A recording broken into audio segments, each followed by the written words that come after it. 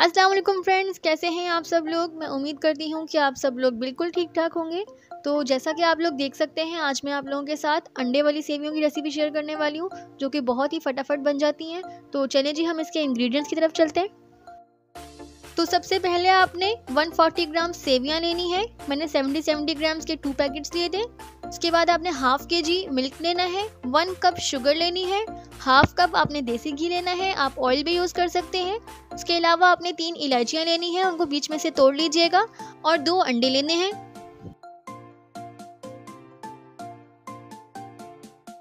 अब आपने एक पैन लेना है और इस पैन के अंदर आपने हाफ़ कप देसी घी शामिल कर देना है और साथ ही जो हमने तीन इलायचियाँ ली थी, वो भी हम इसमें शामिल कर देंगे और इन इलायचियों को हम फ्राई कर लेंगे इस ऑयल में।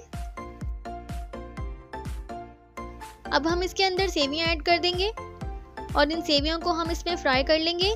ये थोड़ा सा अपना कलर चेंज कर लेंगे ये भी आपको नज़र आएगा।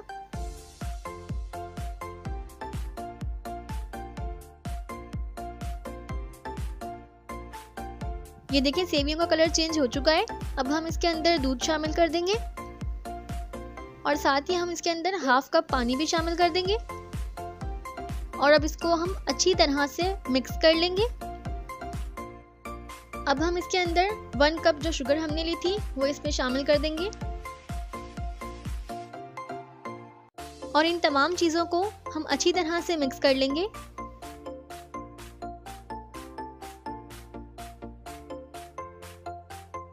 और ये देखें, इसको बॉईल आना शुरू हो गया है। अब हम इसके अंदर जो दो अंडे हमने लिए थे, उनको अच्छी तरह से बीट कर लेंगे और वो अंडे हम इसमें शामिल कर देंगे। अब हमने इसके अंदर अंडे शामिल कर दिए। तो अब आप इसको अच्छी तरह से हिला लें ताकि अंडों का जो कच्चापन है वो भी ख़त्म हो जाए और दूध भी ड्राई हो जाए।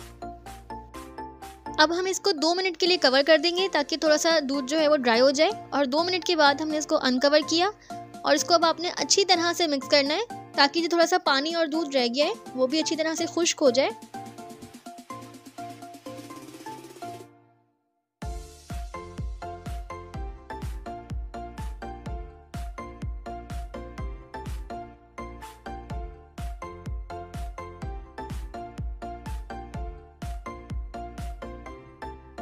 और ये देखें जब आप इसको अच्छी तरह से मिक्स कर रहे होंगे तो जब ऐसी स्टेज आ जाए कि आप सेवियों को मिक्स करें और नीचे जो आपको पैन की ज़मीन नज़र आ रही है ना, जब आपको वो सरफेस नज़र आने लग जाए तो इसका मतलब आपकी सेवियाँ रेडी हो चुकी हैं।